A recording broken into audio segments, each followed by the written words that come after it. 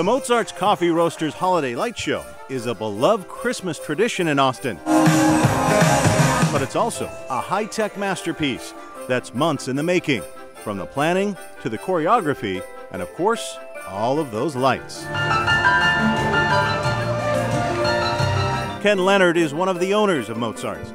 He says after 14 years and more lights every year, it's hard to say exactly how many lights are firing off during the big show. I think the, the safest answer is a lot, and I think the most reasonable answer is we think it's somewhere north of 2 million individual lights are, are happening at once here. Ken's other partner, Katrine Formby, starts the design process in late January. There probably are three months of project design that go into the creative and all of the concepting of what the routines and, and what the new exhibits will be this year. Then the giant set starts going up in August, and about 100 digital controllers are secured, connected, and networked on the grid. The digital controllers uh, are, are really the, the intelligent brain of the show. As you look at this, you can see the multiple layers on the scaffold that come out to actually be able to deliver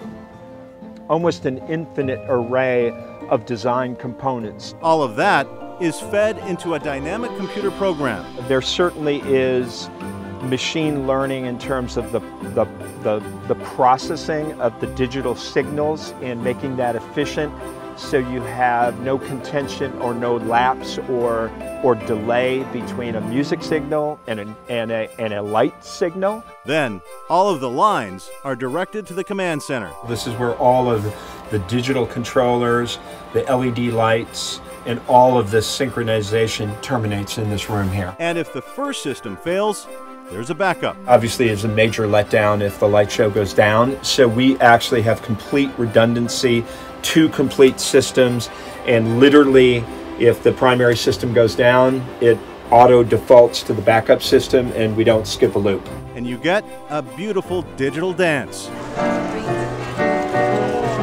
And speaking of dance, this is uh, actually uh, a significant portion of Taylor Swift's Eras Tour dance floor. Mozart's has part of Taylor Swift's concert stage on loan. The North American tour is on hiatus, and that's that's how we got this dance floor because the the company was going to have to store it. And the tech is next level. Each tile has about 1,600 digital pixels. We have a separate set of controllers that fire up uh, imagery and uh, audio uh, into this. The ability to program and to change imagery and to synchronize is just exponentially higher than, than, than last year's dance floor. Mozart's puts on about 300 shows a season, and every connector is taped and sealed.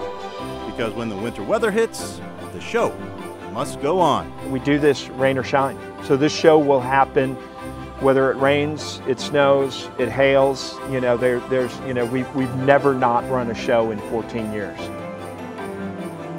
Thank you for watching. Please hit the subscribe button and get the latest news by downloading the CBS Austin News app.